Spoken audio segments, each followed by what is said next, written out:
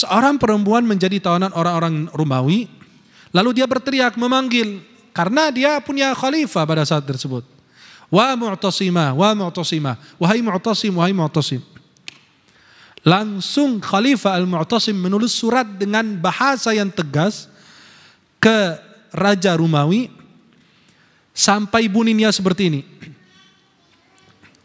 Min Amiril Mu'minina Al-Mu'tasim billah. Dari Amir Al-Mu'minin Khalifah umat Islam Al-Mu'tasim billah. Ila bukan Malik Rum. Malik itu raja. Ar-Rum Rumawi. Tapi dia nulisnya apa? dari Amirul Mukminin Al-Mu'tasim billah ke anjing Rumawi. Rajanya dibilang apa? Ajib. Mana ada yang berani saat ini? Dibilang kucing aja nggak berani. Tapi kita berani, cuma Donald Bebek aja yang kita berani.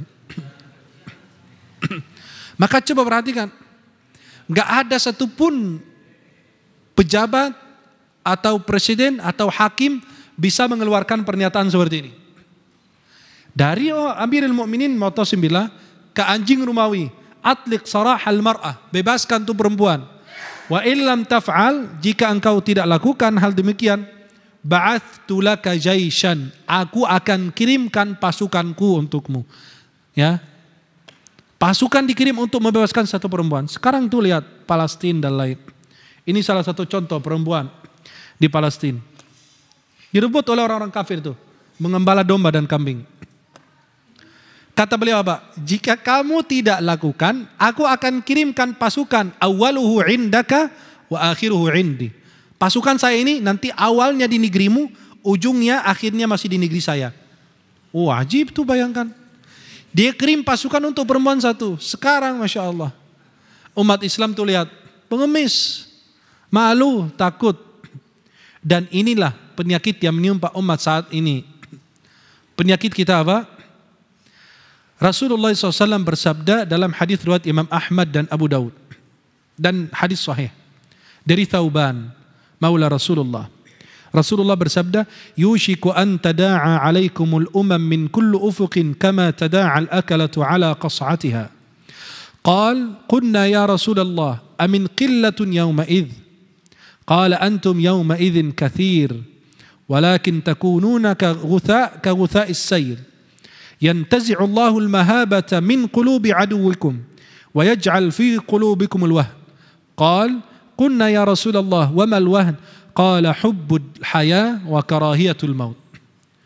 Umat-umat yang lain akan merebut kita. Ya. Ini mereka bertemu begini ini. Hah? Apa yang mereka buat buat umat Islam? Gak ada. Karena mereka ini ber, bertemu begini, ya, berkumpul begini untuk kepentingan mereka. Kepentingan orang-orang kafir, bukan kepentingan umat Islam. Karena umat Islam sekarang sedang pecah belah.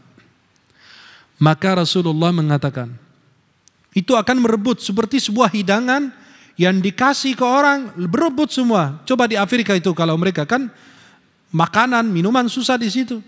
Dikasih sebuah hidangan habis, baru ditaruh aja udah Masya Allah, bersih. Maka umat yang lain akan merebut kita seperti itu. Dan sahabat bertanya, "Ya Rasulullah, jangan-jangan pada saat itu kami sedikit jumlahnya?" Kata Nabi SAW, "Antum yauma idzin kathir." Kalian pada saat tersebut sangat-sangat banyak. Walakin takununa gutha ka gutha'is sail. Kalian itu jumlah banyak tetapi seperti buih yang ada di lautan.